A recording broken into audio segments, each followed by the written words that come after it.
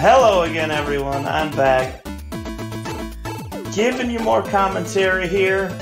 We got the Kov coming back, fresh off of his single second win in Metal Storm. and we got Sir Phobos, an amazing Sir Cowlitz, or Sir Cowlitz?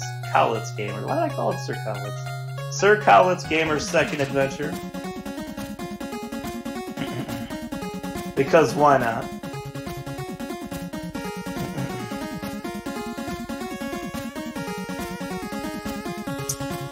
Um, you're gonna see a, an extremely well-made, uh, I, I would say puzzle platformer. The controls are incredibly smooth, and it rolls really well. It's very enjoyable. So I cannot wait to get this started. I would also like to mention that we are going to have a Cowlitz ONOT. And what an ONOT is at RGL TV is a one-night only tournament. So if you're interested in getting into speedrunning or speedrunning a new game, or checking out this game just to, for whatever reason, you speedrun it, you are free to join up on the ONOT compete against all of our other Cowlitz speedrunners. Open to everyone. And we have tons of ONOTs here on this channel. So I would say stay tuned to listen for more ONOTs you can join in the future.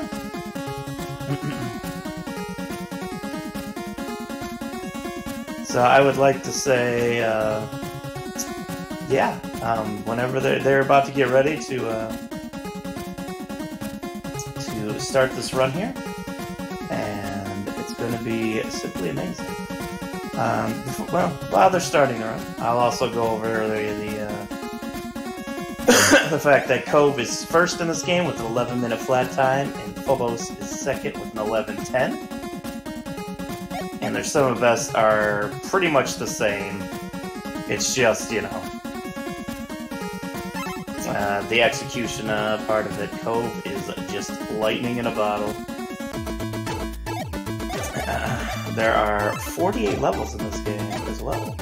And death warps will be a major factor in this game. Okay, let's go. so, the object of the game. I'm so sorry. One second. Okay, so the ob the object of this game is to collect all those coins, and once you collect all those coins, it opens up a vine to the next level, and you go on to the next level. As said previously, there are 48 levels in the game. You're going to see a lot of death warps to get to uh, specific parts. Yes, the music is also really good in this game.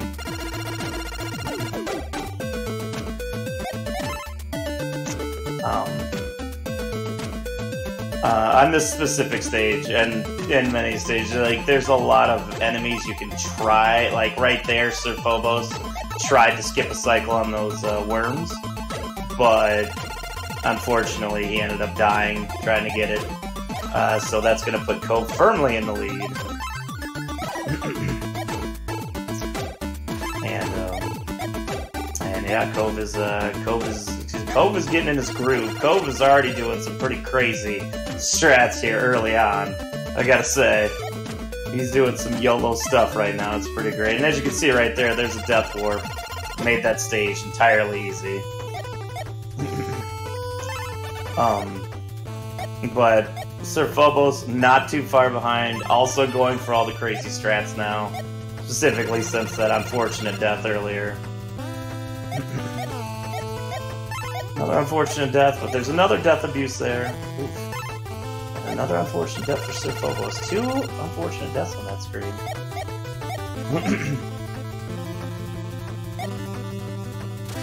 but uh, but still rolling, uh, still rolling quite uh, well right now.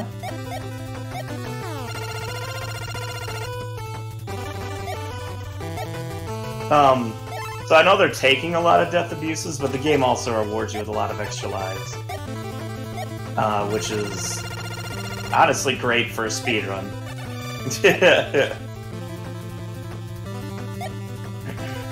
uh, this room that Kov is in right here has a faster cycle. I don't believe he's going for it. Um, it's it's incredibly uh, tight, so I can't say I don't. I, I blame him for for skipping out on it. Um, and a lot of the enemies in this game, very simple patterns. Like the little worm things, they will um, they will jump if you get near them, so you have to duck them. And obviously these blade patterns are it's just very basic overall enemies. Like I said, it's more of a puzzle platformer than just a straight platformer. Very good though. Um, excuse me, jeez. There's also diamonds. Those are more just for like 100% completion. They're they're obviously not necessary. Um, I forget how many specific diamonds are in the game, but you know, quite a few. yes, you can continue on the same stage. That is 100% correct. Game over, you continue on the same uh, stage. The only thing that happens, I believe, is you lose all your points. But uh, that might be off even as well. Alright. Flying through this level now. We got these vines in the background. I know, I've mentioned it previously, but, uh, but these, but the controls for this game, like, I, I can't, like, I can't say it enough. They're some of the tightest controls and nicest controls I've played on a game on the NES. Came out in 2017, so they had a lot of time to practice. But yeah, it's a really good homebrew. There's a lot of good homebrews still going out for the NES, too. If you're interested in trying new NES games, there's a ton of them. Bro. Bro, calm down. But uh, but Kov using another nice death warp there. Kov is uh, Kov is doing uh, extremely well here so far. I don't think I've seen him take a, uh, an unfortunate death yet.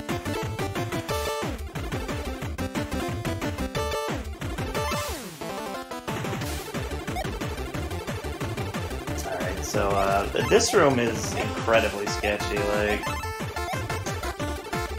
the one that Kov's in now, like the the patterns, if you go out of sync with the patterns at all, you are you're kind of stuck. Just waiting a long time in that room. So that execution was very nice. Back-to-back -back games, I believe, with no RNG. So the frustration is completely on uh, on the runner's back on this one. And as a speedrunner, I think you're more okay with that than just having to deal with crap RNG. There are some some games that are just wonderful besides the fact that when you try to speedrun them, they're just too random and it drives you nuts.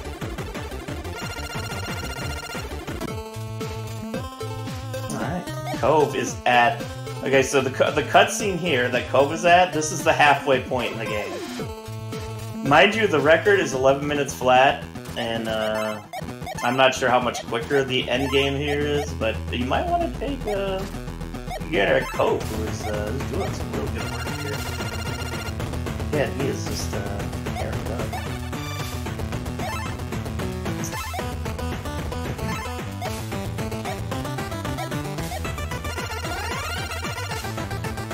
Uh, I believe all of the rest of the levels as well are just in this tower.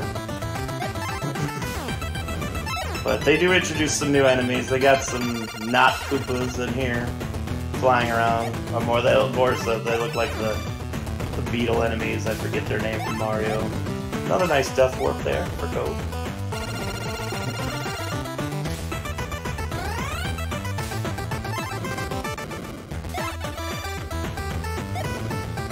Death warps are on point right here. So many good ones too. Kov still has 10 lives, so that's plenty of death warps to go.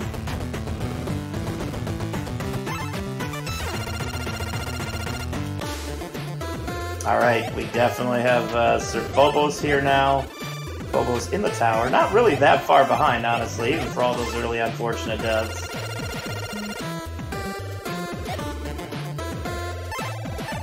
Still keeping pace quite well.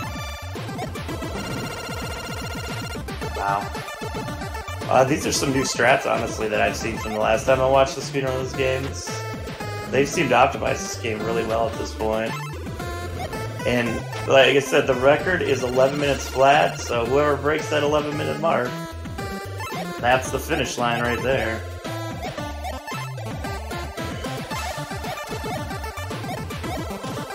But we'll see. Very, very nice room. That room the Kov was in there with all those spinning blades is incredibly hard. You have to be very precise on your cycle base to get through there.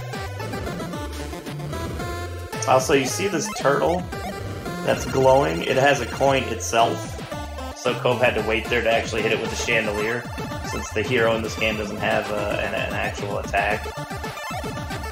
So you had to get the chandelier to kill that turtle to get that coin. Yo, Oregano Trail sounds so much better than Oregon Trail. The Oregon Trail. so yeah, some enemies hide coins. And you just gotta keep a lookout for if they're like sparkling or not.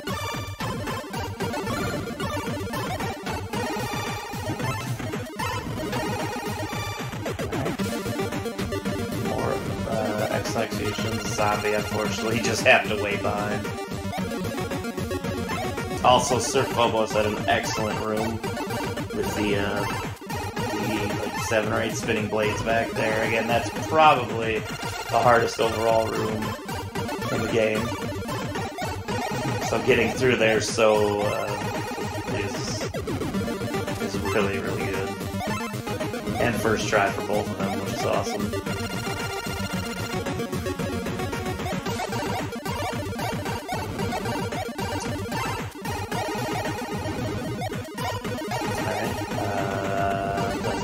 Around there by. He's waiting for the Buzzy Beetle to get out of the way so he can get that last coin without dying.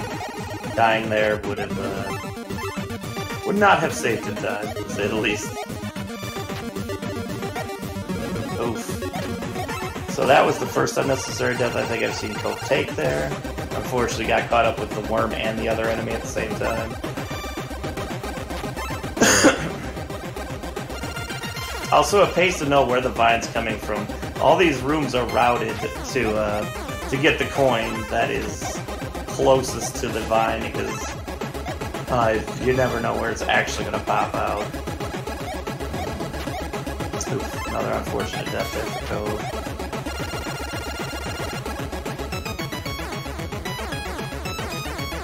Phobos having an excellent uh, room here. Uh, like, I don't know a specific name for these rooms. it's the room room. It's, it's Tommy Wiseau's room. Alright, we doing, uh... We doing it, we doing it, we doing it well. Uh, Kov is in the lead right now. Kov has, I would say, about a minute of a lead, 30 seconds of a lead about.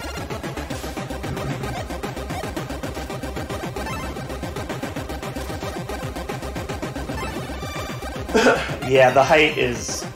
Uh, they're climbing a tower currently, so the height is uh, the gauge for how high they are. I don't know why they didn't just say it. Oh my god, Kov! Look at the time the Kov just got. He's only four second off world record. One of those deaths cost him the record. That's an amazing run. Great job, Kov. Like I was saying earlier, he was going for all of the strats. And for the most part, he nailed them.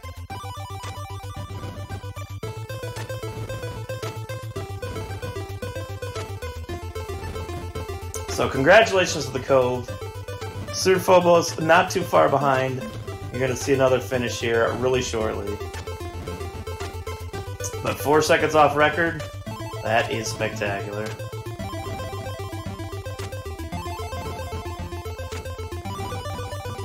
Nice death warp there for Phobos. And now Phobos is also done. The 1206. Just a little bit, a uh, minute, uh, just a little, just a minute later. So a really good race between these two. Kov was absolutely on fire. Sir Phobos also has a great time. Great run, great race. Follow both of our runners here. They did a wonderful job. Again, this is the Cowlitz Gamers second adventure. Uh, it is a homebrew game. Check it out yourself. Learn to speedrun it. Join our one night only tournament that we're hosting in the future that we will definitely announce at some point. But with that, that is it for uh, my commentary. Thank you um, for inviting me to the commentary. Excellent run again. Follow both of our runners, and we are going to move on now to roller games.